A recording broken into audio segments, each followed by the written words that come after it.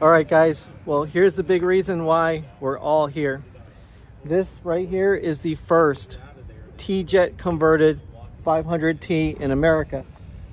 Now, as you can see right here, we don't have a vacuum pump on the backside of the engine. It's still got one cam gear, which if I can get the camera in there, you can see but generally the whole bottom end of the vehicle is the same. You know you got your same forged pistons you got your same forged crank.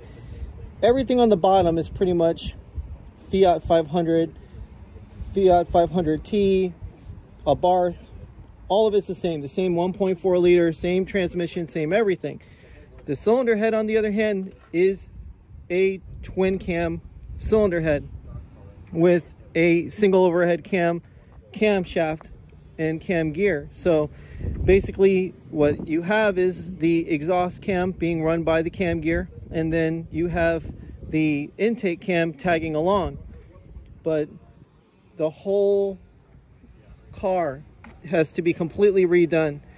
Now he's got the exhaust wrap on the back side of the turbo and this is actually what our turbochargers look pretty much naked.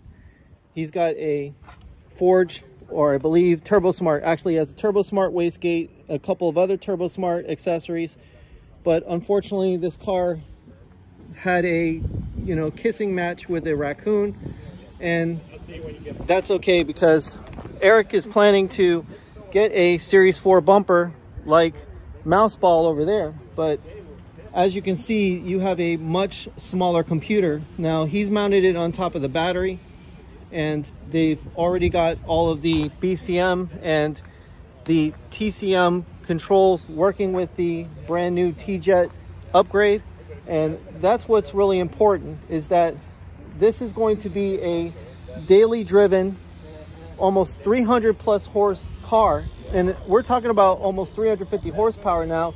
He's not running full boost. He's not running a full tune. He's not running a whole bunch of things because he wants to make sure that everything works on a daily basis with the streamlined tune that it already has. And then what you do is you just incrementally build up, you incrementally build up until you get everything where you want it. And at that point, you can make more power and make it more reliably, which is the whole point of building these cars is to have them operate with big power and not break. Because obviously the stigma is you know, fix it again, Tony. You know, Fiats have bad um, reliability, X, X, and O. You know, just the same old stuff coming from people in car culture who don't really know a whole lot about these cars. So to prove that you can have a 350 plus horsepower car, one this small and one that accelerates this fast, well, it won't break. It can go from here to West Palm, here to Daytona, here to Orlando, wherever you need to take it, the car will make that trip and make it reliably without even having a hiccup. So that's what Eric has planned. And obviously Eric has a YouTube channel. And if you'd like to subscribe and go to his YouTube channel and see what he's got going on there, that'll be fantastic because he does a lot of Fiat content if you're interested.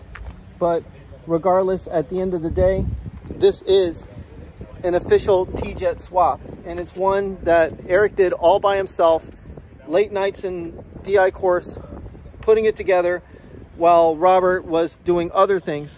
So that's how these cars come about. They come about from the long, arduous hours of toiling in the garage, trying to make sure that you get every last thing to work and to work reliably.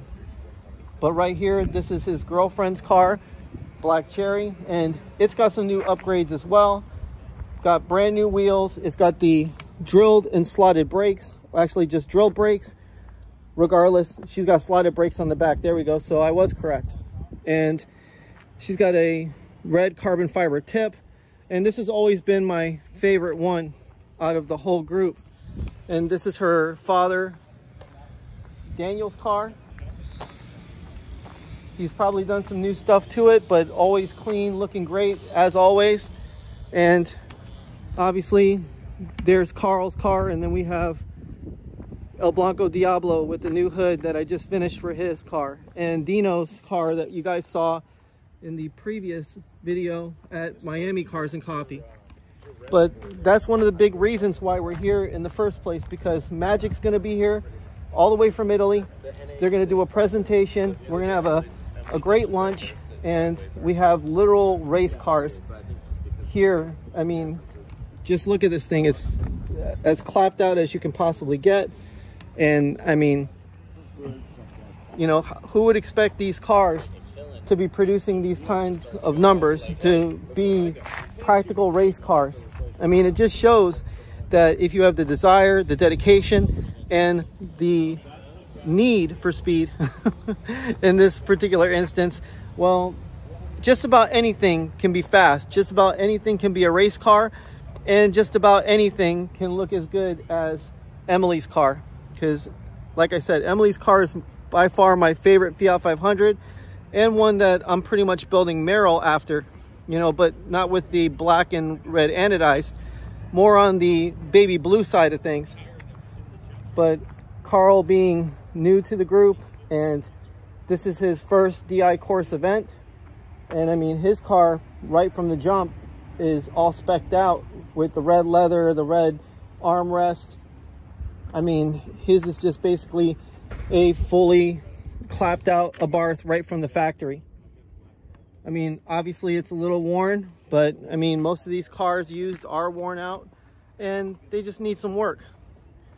But Mouseball, obviously the boss, you know, she has to have everything look as close to perfect as possible, you know, because that's how she is. That's how Mama Mouse is. She's all about perfection or at least in the pursuit of it like Lexus. But nevertheless, guys, did a nice little once over on El Blanco Diablo. Got the car clayed, got it nice and clean. And I mean, it's never looked cleaner.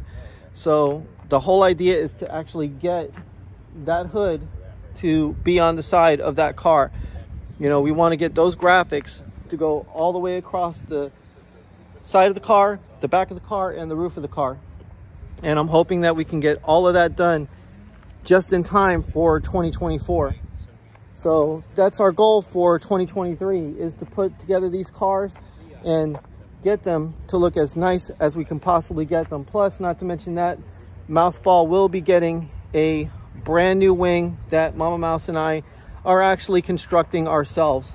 So it's going to be a wing unlike anybody's ever seen. And best of all, you can't buy it nowhere because it's handmade.